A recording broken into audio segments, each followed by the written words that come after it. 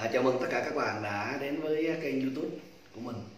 Và hôm nay thì à, có một điều đặc biệt mình muốn chia sẻ với các bạn Nhất là những bạn à, yêu guitar và chơi đàn guitar Mà chúng ta đang à, mới chập chững chơi Và chưa nắm được hết những cái à, cơ bản, những nguyên tắc của đàn guitar. Thì à, Ngô Đào sẽ có một cái chia sẻ. Bởi vì à, mình à, không dám là người đi dạy thật sự là trên youtube bây giờ có rất nhiều người à, dạy guitar. Có thể là có những người à, rất là à, cao thủ. Mình còn phải học hỏi nhiều. Nhưng mà mình tìm kiếm thì mình thấy rằng là chưa có một ai chia sẻ về vấn đề này. Đây là vấn đề hoàn toàn rất là rất là hay. Theo mình nghĩ là vậy. Bởi vì trước kia mình học thì không có qua trường lớp không có thầy chỉ bài mà chỉ là kinh nghiệm của bản thân.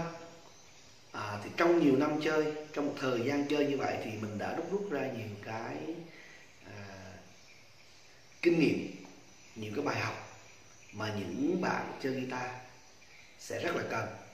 Hôm nay à, trong clip này thì ngô đào sẽ chia sẻ đến các bạn à, một cách chúng ta dò tìm hợp âm rất là nhanh có nghĩa là từ những hợp âm ở những ngang 1, 2, 3 mà chúng ta bấm được cái này rồi thì theo nguyên tắc như toán học chúng ta sẽ tìm ra những hợp âm tiếp theo.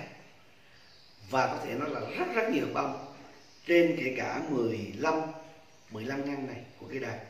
Thì thường thường cây đàn là tùy độ dài ngắn đến đây có thể là 12 có nhiều cây đàn sẽ bấm được đến 15 15 ngăn như cây đàn này đến 15 ngăn đến đây là 12 đây là 13 là 15 vậy thì bây giờ để vào cái à, phần chia sẻ này một cách để các bạn nắm chặt chẽ, dễ hiểu nhất, thì ngô đào sẽ à, phải chỉ các bạn một chút, người ta gọi là nhạc lý, nhưng cái đây là chia sẻ thôi, cũng chả có gì là là cao xa cả. Nhưng mà từ những cái cơ bản nhất, chúng ta sẽ tìm ra những nguyên tắc rất là hay của nó chắc các bạn biết rằng là mọi âm thanh thì đều được à, đúc kết và có thể nói là những ông tổ về âm nhạc về âm thanh ngày xưa đã đúc kết bằng bảy âm thanh cơ bản. Đó là do re mi fa sol la si. Hoặc chúng ta đọc từ la cũng được. Đấy, la si do re mi fa sol vân vân. Thế thì ở đây chúng ta sẽ thêm một nguyên tắc của nó. Chúng ta phải nhớ à, bảy âm thanh đó do re mi fa sol la si đến do cầu quán chúng ta biết rồi. Quán thì hai âm thanh gần nhau là một quán. Từ à, đồ, chúng ta đọc đồ, re, mi, fa son la, si là bảy. Cho đến đô lại thì gọi là quán tám. Đấy.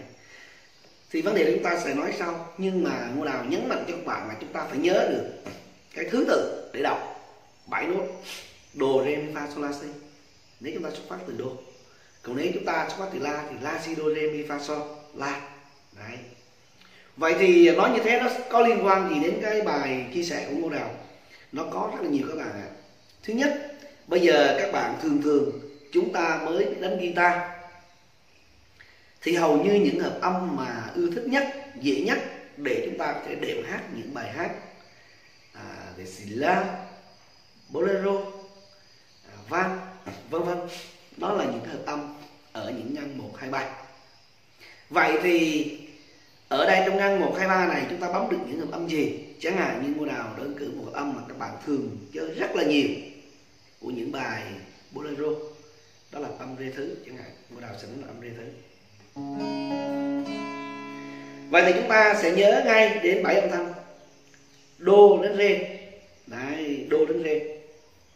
Vậy thì đầu tiên chúng ta sẽ biết rằng từ đô đến rê à, chúng ta phải liên quan một chút nữa. Đó là về cung. Hồi nãy ngô đào đã nói về thứ tự. Vậy thì cái cách tính cung như thế nào đây? Trong bảy âm thanh đấy từ đô đến đố nếu chúng ta đọc đô re mi fa sol la si đô à, từ, từ đô đến đố như vậy thì nó sẽ có hai âm thanh mà được người ta tính nửa cung nửa cung có là một phần hai cung.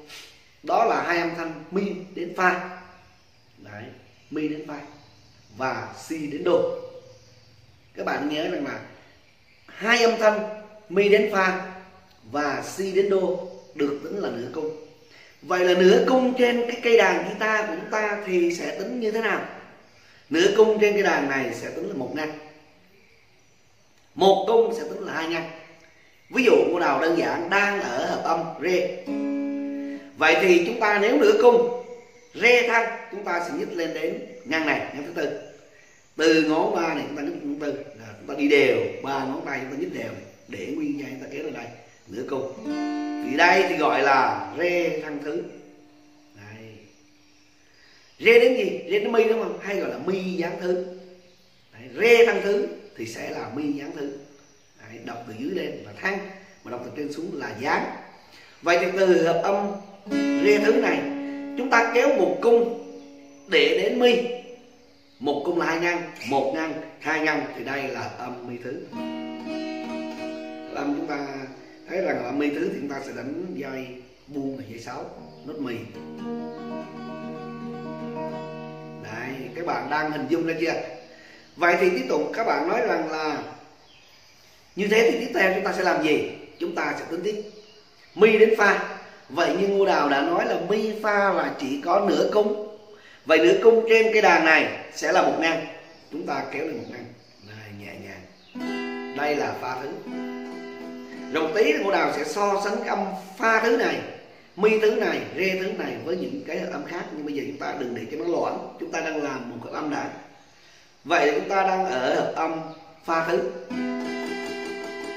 Đây các bạn nhớ nha. Ngô đào đang hướng dẫn các bạn đến hợp âm pha thứ vậy thì pha đến son là một cung. Đồ re mi pha son. Pha đến son là một cung. Này, hai nốt âm thanh này là một cung. Một cung trên cái đàn chúng ta là hai ngăn một ngăn hai ngăn đây là son thứ. Chúng ta chúng ta bấm thêm một à, cái nốt dây thứ tư.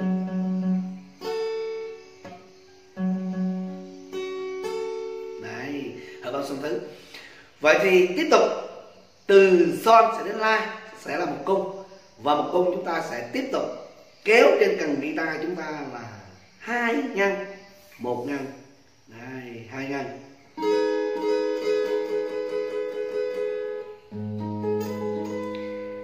vậy thì hợp âm so à, so thứ qua đầu xin lỗi các bạn đây là âm la thứ. Chúng ta đang đến hợp âm la thứ. Hợp âm la thứ thì sẽ đánh dây số 5 là dây là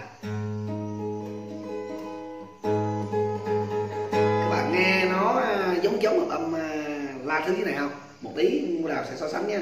Chúng ta là là thứ. Cứ như vậy, la đến si cũng là một cung. Chúng ta nhất một ngăn, hai ngăn, đây là si thứ. Đấy. Vậy thì tới chỗ này chúng ta lưu ý. Si đến đô chỉ có nửa cung thôi. Nửa cung trên cần đàn guitar chúng ta chỉ có một ngăn vậy chúng ta sẽ nhích lên. Một ngăn, đây là đô thứ. Tiếp tục, đô đến e là một. Một cung, hai ngăn. Một ngăn, hai ngăn, đây là rê thứ đây chúng ta đang so sánh này.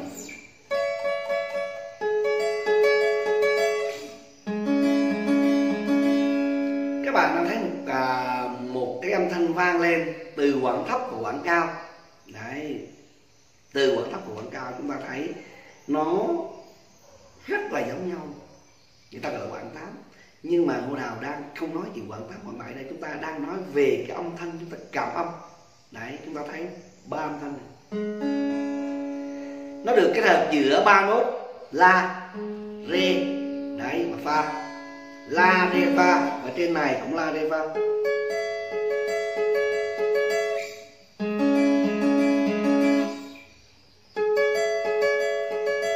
Đấy, các bạn thấy rằng ngô đào đang dẫn các bạn đi đến giống như là đang cho các bạn một chìa khóa để ta mở toan cánh cửa tìm hợp âm có những bài bấm được, chơi được, nhưng mà khi dò tìm một âm nào đó, chúng ta đang rất là khó khăn.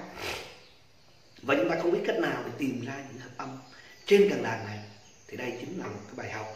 Ngô đào đang thử ở hợp âm rê thứ. Vậy bây giờ chúng ta sẽ so sánh lại. Ví dụ, ngô đào đang nói hồi nãy hợp âm ở dưới ngăn một hai này, chúng ta có âm la thứ. Ở đây chúng ta cũng sẽ có âm la thứ.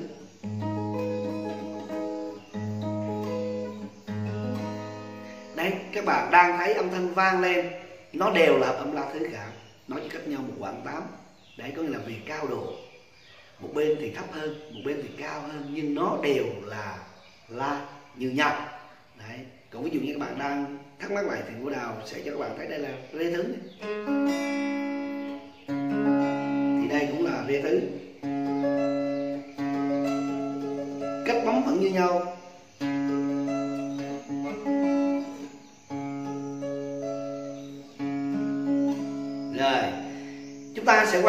Âm, hợp âm khác mà các bạn hay sử dụng ở ngăn một hai này, nhất là những bạn mà mới chơi là chúng ta thường chơi, ví dụ đây là mi thứ chẳng hạn. Thì đây, chúng ta đang kéo là từ rê lên mi này. Đây là nửa cung, thêm nửa cung là một cung, chúng ta đánh.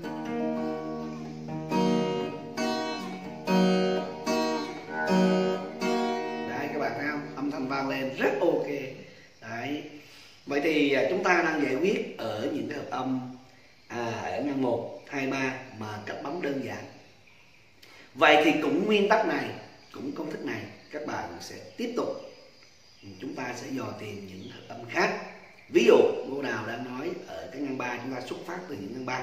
Chẳng hạn các bạn biết đây là hợp âm chúng ta chơi trong tổ hợp âm chủ là chẳng hạn như hợp âm chủ là rê thứ. Thì trong tổ hợp âm của nó trong vòng hòa thanh của nó có hợp âm pha trưởng chưa các bạn đã thấy đây là pha trưởng vậy thì à, chúng ta đang ở cái ngang ba là ngang cuối của hợp âm này. Đấy. nhưng các bạn nên nhớ này những hợp âm này yêu cầu là chúng ta phải chặn hết dây. Chúng ta có ba ngón và ngón trỏ chúng ta chặn hết dây. Thì chúng ta sử dụng nguyên tắc này nó mới chính xác hoàn toàn 100% Đấy. Tại sao có 100% trong đó? Một tí nào sẽ cho các bạn thấy một cái trường hợp khác nữa. Vậy đây chúng ta đang ở hợp âm pha trưởng. Đồ, re mi, fa, son. Đấy, pha đến son. Và theo nguyên theo nguyên tắc pha đến son là một cung. Một cung chúng ta sẽ có hai ngang. Đây, một ngang, hai ngang, đây là son. Đây là pha trưởng thì đây là son Đấy. Son, pha, son, la. Son đến la là một cung. Thì hai ngang, tương ứng với hai ngang. Chúng ta kéo một ngang, đây là la trưởng. Đây Vậy thì có một số bạn cũng đang cô mình trong à, những cái à, phần các bạn giao lưu với nhau trong những cái nhóm chẳng hạn như là nhóm à, à, những người à, yêu bolero à, trao đổi về học guitar vân vân. Các bạn đang rất phân vân ở một hợp âm. Mà hợp âm các bạn đang phân vân đó là âm la khăn trưởng. Hay các bạn gọi là si gián trưởng. Đây đây là âm mà các bạn đang rất là phân vân các bạn thấy qua bấm rất đơn giản này.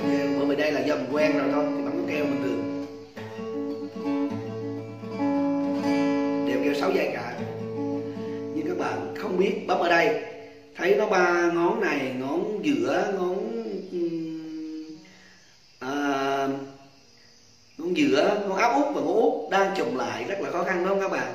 Và ngón trỏ làm cái công việc đó là chặn. Ừ, chặn cả sáu dây đàn thì các bạn nên đang nhớ ở đây thì ngô đào đang nói đây là la trưởng. Đây là la thăng trưởng, đây là la trưởng. Đây là la thăng trưởng. Thì các bạn thấy rằng, đây này, la trưởng này. La thăng trưởng có nghĩa là chúng ta nhích lên, thăng lên nhích lên, nửa cung thành la thăng trưởng. Và nó có thêm một một nốt này nữa, đó là nốt pha này. Nếu ta chặn hết, sẽ là như thế này vậy thì từ đây là la trưởng. Chúng ta nhích lên nửa cung sẽ là la trưởng. Các bạn nghe âm thanh giống nhau nha.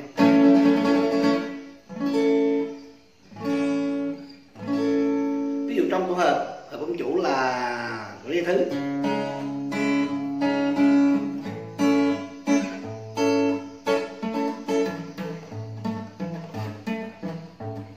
Để các bạn thấy, âm thanh vang lên, chúng ta nếu không đánh ở đây được, thì chúng ta đánh cái này vậy thì bằng cách xoay như vậy, chúng ta biết đây là hợp âm la thăng trưởng. Này, vậy lúc nào sẽ quay lại từ âm la trưởng. Này, la đến si. Si sẽ là, la đến si sẽ là một cung một cung tương ứng với lại hai ngang thì chúng ta sẽ viết lên đây đây chính là si trưởng. Đây đây chính là si trưởng. Si trưởng dưới này nè các bạn. Đây là si trưởng này bây giờ si đến đô. Si đến đô, các bạn thấy đang là đây là si trưởng. Vậy si đô như cô đào đã nói là si đô chỉ cách nhau nửa cung. Si đô cách nhau nửa cung, vậy thì chúng ta sẽ nhích lên trên cần guitar này là một ngăn đây là đô trưởng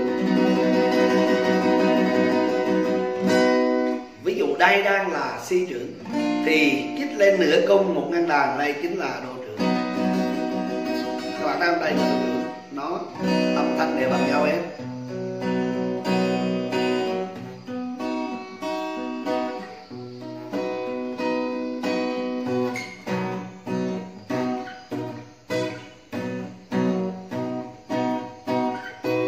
này, vậy tiếp tục, chúng ta đang ở đô trưởng. Vậy đô đến gì? Đô đến rê. Đấy. Đô đến rê thì một cung, chúng ta kéo lên hai ngăn, một ngăn hai ngăn đây là rê trưởng.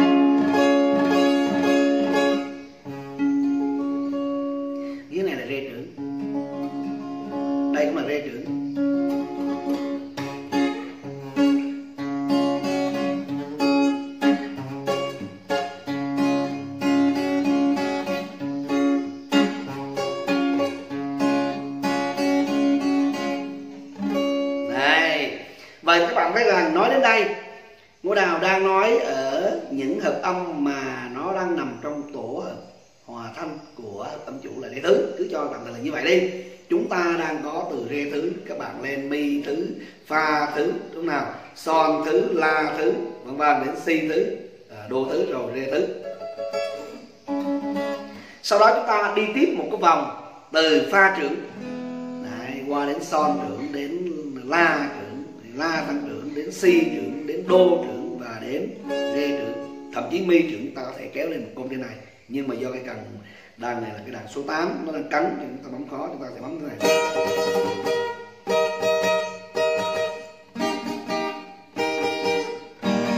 Đấy, đều là bi trưởng cả các bạn ạ.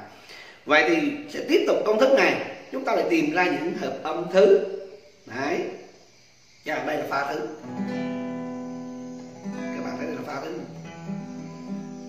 Thì đây là son thứ cắt nhau một cung, pha đến son, hai pha đến son một cung.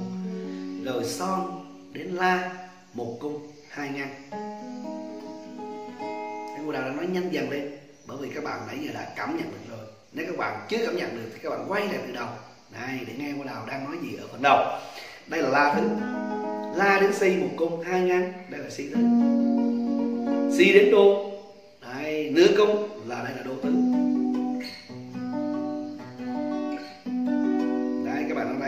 Dò lại. La thứ. La thứ. Son thứ. Pha thứ. Ba pha thứ. Đang dò lại âm thanh thì giống nhau nha các bạn. Thập âm pha thứ. Pha thứ. Son thứ. Đấy, bây giờ ta có thể lăn mò ra từng hợp âm. Từ ba ngón chặn cho đến sáu ngón chặn trên cáp. Ngang đàn pha. Này, pha. Son. Son. La. La thứ. La thứ. Đây si. Si. Đây các bạn đã thấy đang nhích dần lên đến đô. Đây là đô. Rê si đến đô nửa cung chúng ta thấy là si nhất lên đô nửa cung. Đô đến rê một cung thì có hai ngang. Đấy rê chúng ta đây cũng là rê rồi sau đó chúng ta lại có các hợp âm. Đấy. chúng ta vẫn quay lại như hợp âm. Thứ và trưởng. Chẳng hạn các bạn biết từ đây là si thứ. Đấy, các bạn biết từ đây là si thứ. Cô nào cho tạm thời các bạn biết từ đây thôi. Từ đây là si thứ thì si đến đô để cung chúng ta biết ngay đây là đô thứ. Đấy. đô đến rê là một cung thì các bạn sẽ biết ngay đây là rê thứ. Rồi rê đến mi một cung các bạn sẽ biết ngay đây là mi thứ. Đấy. mi đến pha nữ cung. Đây, mi pha nữ cung. Các bạn nãy giờ chúng ta đang à, nói chỗ những chỗ nữ cung các bạn ơi tí. Mi đến pha nữ cung chúng ta sẽ nhích lên một, ngang một. Chúng ta dò này đây là pha.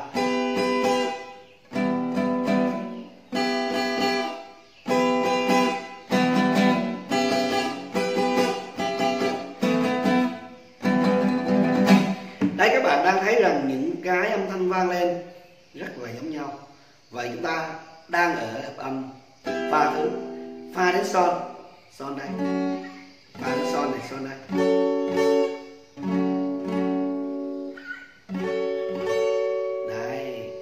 Những cách dò mà có thể nói là cực kỳ hiệu quả để chúng ta tìm ra những hợp âm trên 12 ngăn đến 15 ngăn đàn guitar.